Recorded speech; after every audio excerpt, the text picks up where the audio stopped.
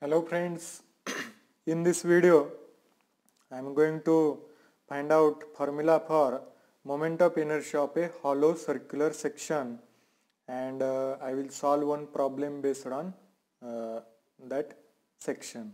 So let us draw first a hollow a hollow circular section. So this is outer circle now this is inner circle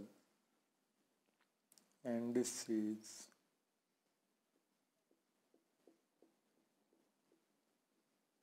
cut section.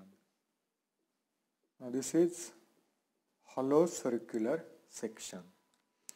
So it has a outer diameter outer diameter as capital D and inner diameter is small d.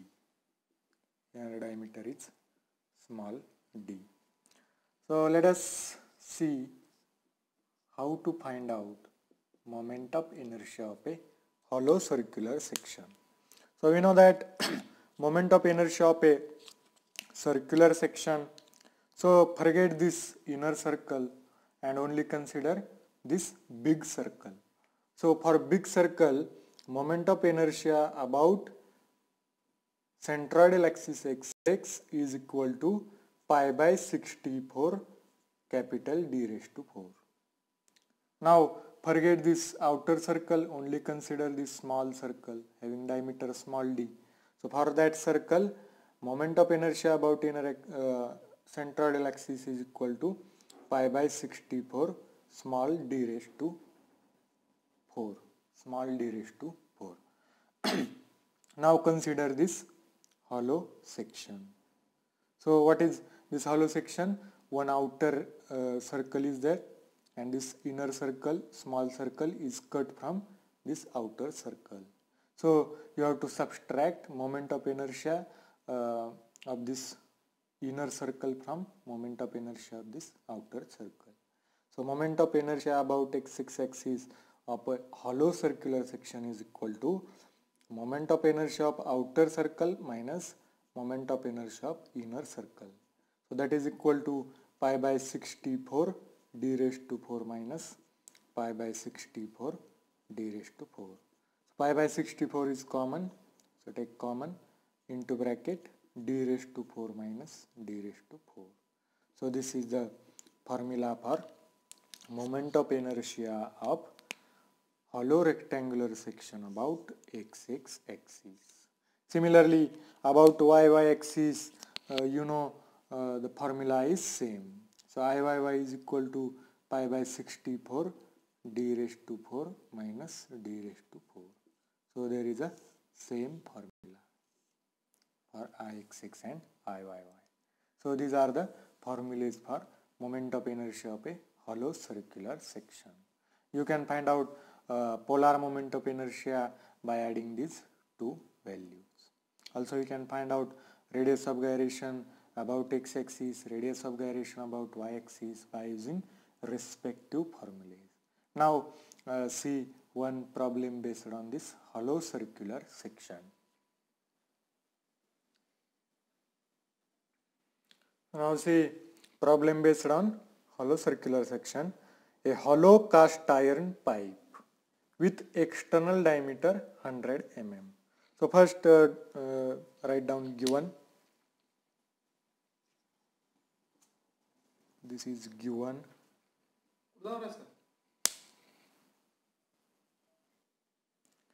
So given is what? Circular section, hollow circular section. So this is outer circle that is external diameter is 100 mm. Now this is hollow pipe, hollow cast iron pipe is there. So 100 mm external diameter and thickness of metal is 10 mm. Now this is thickness of metal. So this thickness is 10 mm. Now on this side also there is thickness that is 10 mm.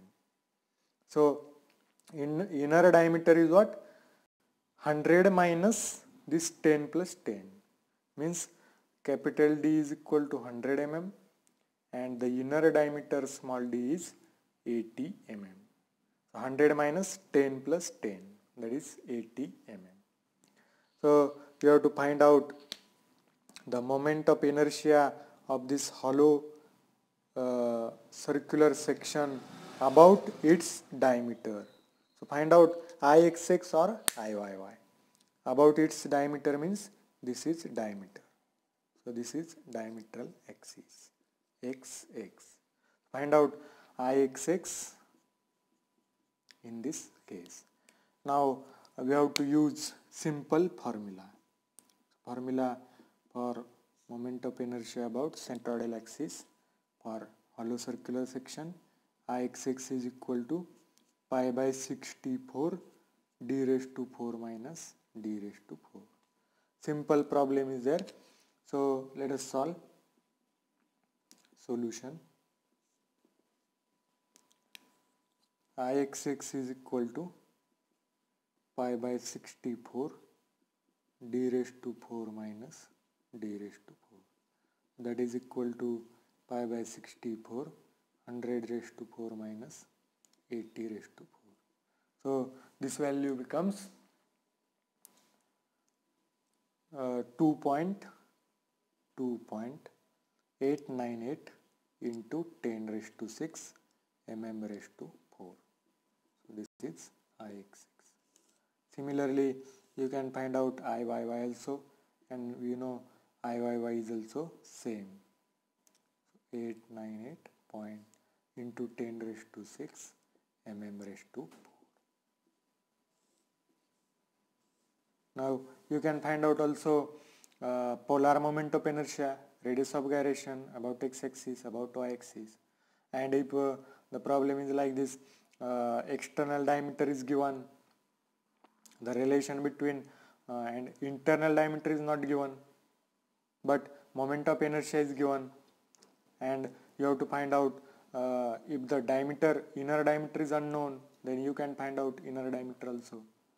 If outer diameter is not given, inner diameter also is also not given, but the relation between both is given. That is, if uh, d by d is equal to 2 is like this, this relation is given.